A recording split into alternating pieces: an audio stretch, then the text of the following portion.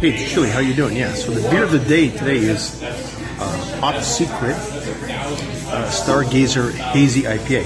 And there's nothing funny about this video except the fact that I spelled funny with the PH at the beginning, so it's PHU and then 1.